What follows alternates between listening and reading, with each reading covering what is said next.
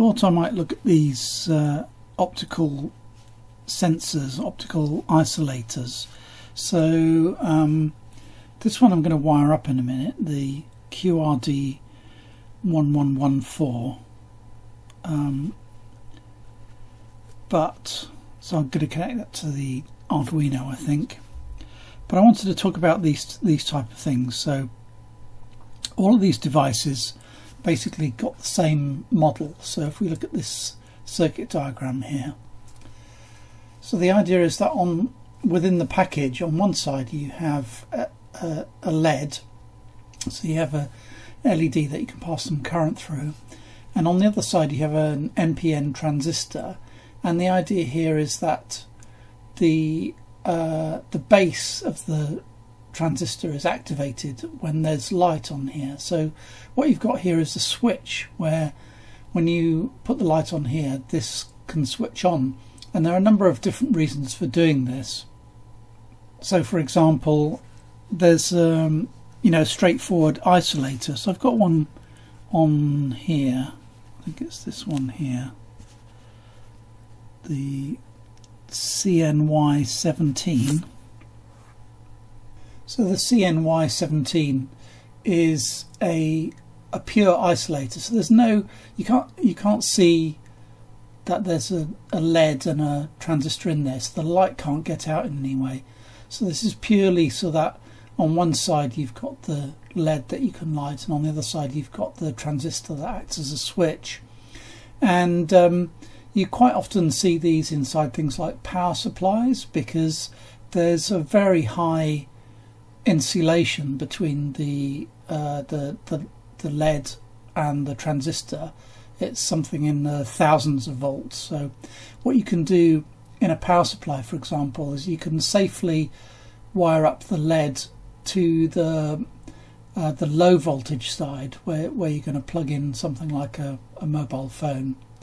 And then on the high voltage side, you can have the transistor and it's quite safe to do that because there's a big you know voltage isolation between the two. So as I say they use that in power supplies. So this is often used as a way to uh, regulate the flow of electricity and control the primary from the secondary. So these are quite useful devices. And in, in fact I've used one of these in a design that I put in a, in a shed here. So the idea was to have a the Arduino set off an alarm when the when the power went off in the shed. So I had the primary connect to the LED on on this side, and then the secondary, which, which could also be battery powered, would then uh, signal on a pin to the Arduino when the main power had gone out. So um, so I still have that wired up today, and it, it sends a text to my mobile phone uh, whenever the power goes off in the shed. So that's so that's uh, a pure uh, opto isolator or opto coupler, uh, and the CNY17, unlike some, it actually this one actually has an extra pin. So there's actually a pin, so you can directly trigger the base if you want to as well. Most most of these type of things don't have that. So the other one that you see quite a lot is this kind of slotted sensor. So this one was the H22A1, which is, describes itself as a slotted optical switch. So the idea is that this side with the cutout here has got a LED in it, and this side here has got a photo transistor, and there's a slot in between. So there, there is actually a hole there where the light can get out. So of course, um, you know, the idea here is that you've you've got a uh, you can detect you can detect when something goes into the slot. So I think I might have demonstrated this on the channel before. So when you have something goes into the slot, it breaks the the light beam, and therefore you can detect that something's in the slot. So obviously, with a, a bit of engineering, you know, you can you can have something traveling through the slot, or you can have a a disc with a cutout, and that allows you to, you know, to to detect when there's a rotation or a movement. And in fact, I think this particular one came out of a printer. So I think I took, took this out of a printer that I tore down. But there's another similar one here, which I took out of some piece of equipment.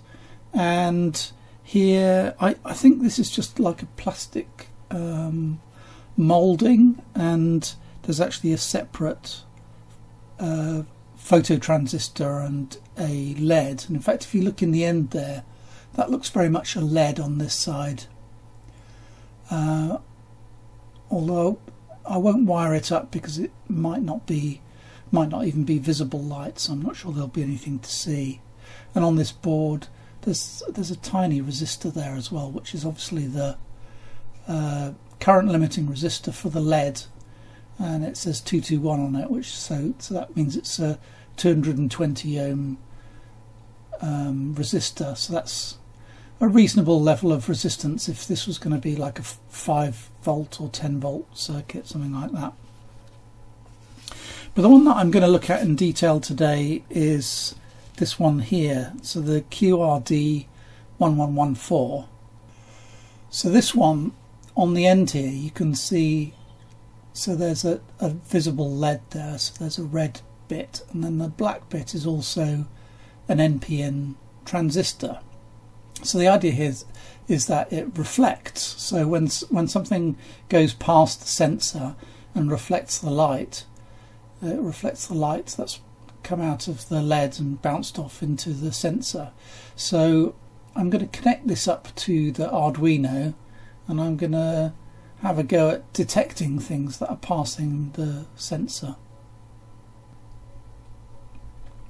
And like I say, all, all of these circuits basically work in the same way. So uh, on the the business end where we're going to connect the Arduino, you have um, an NPN transistor. So typically what you're going to do here is you're going to connect a load resistor so this goes to 5 volts for example um, and the other the other end here we're going to connect to ground and then this also becomes the output of the circuit. So so basically if the transistor is off then uh, the output is pulled up to 5 volts. So you get a 5 volt signal when there's no light visible.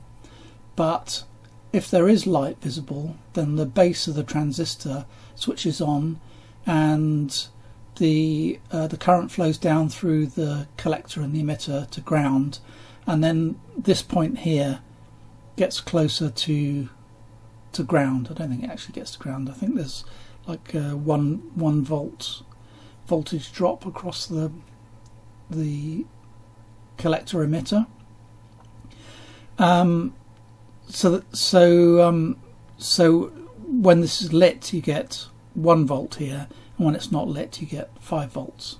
So that's the theory. So we're going we're to connect this up to an Arduino port. I think uh, I'll connect it to an analog port, and then we can measure what the voltage actually is on that pin. You see the camera here can see a faint purple light because the the camera is sensitive to uh, infrared light so you can you can actually see this through the camera whereas here with the naked eye. I can't see anything happening there when I uh, when I play with the uh, the power pin here. So I've got a quite simple script running and um, so this is printing out the the reading from the analog to digital converter. So you can see it's reading about 4 460 something like that. And if I cover up the sensor slightly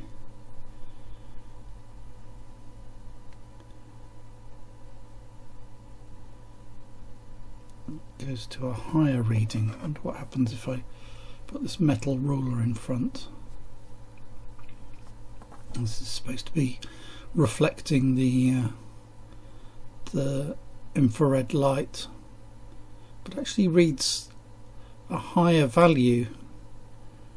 So I think the problem here is that it reacts to uh, to the daylight. It's not just sensitive to um, inf infrared. So if I shine the torch on it, see the reading goes right down to 30 or so. So it's sensitive to visible light. So it may be that I can't really do this experiment in the daytime because this is a very bright room here and it's obviously just reacting to the to the light falling on the sensor. That's interesting if I put my finger right over it maybe that is reflecting the infrared. So if I put a little sleeve, black sleeve over it to stop the daylight getting in. So now the readings getting to the top of the scale. I mean the, the maximum reading should be 1024 I think. Um, so now what happens if I put the reflective ruler in front? Now you see that's really just blocking out the daylight and I'm getting a, a higher higher value I think.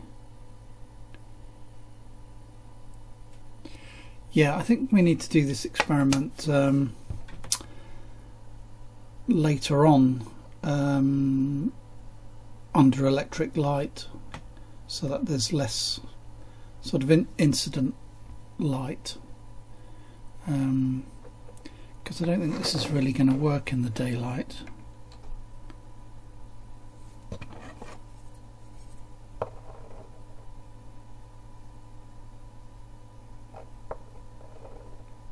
Yeah, we'll do the experiment a bit later. Now we've got a fairly steady reading around 990. But if I put a bit of white paper in front, see that drops down to about 945 so um, out of the direct sunlight this is actually working and it's reflecting the infrared light um, back into the sensor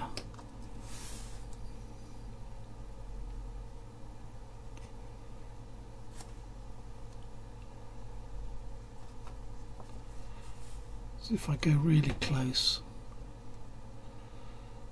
Let's drop down to 700 and something.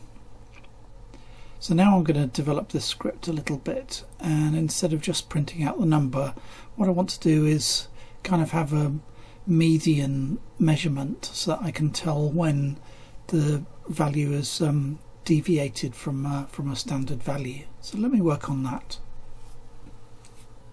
So here's what I've ended up with. So I've written my own script to do the uh, storing the last 21 values and uh, calculating the median.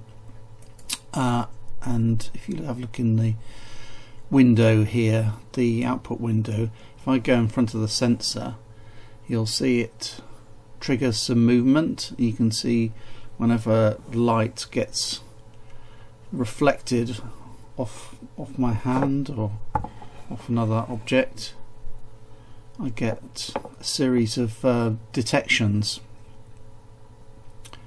Um, so that seems to work quite well and uh, uh, it um, will adjust to the amount of background light automatically because it'll settle around a median.